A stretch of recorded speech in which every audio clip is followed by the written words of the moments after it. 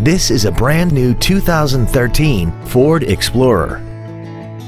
This SUV has an automatic transmission and a 3.5-liter V6. Its top features include traction control and stability control systems, XM satellite radio, big 18-inch wheels, roof rails, and a tire pressure monitoring system.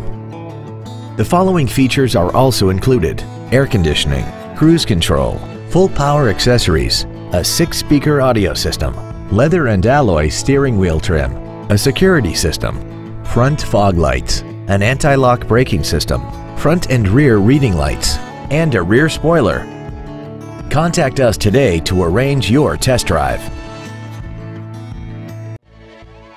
Friendly Ford Lincoln is dedicated to doing everything possible to ensure that the experience you have selecting your next vehicle is as pleasant as possible. We're located at 2800 North Telegraph in Monroe.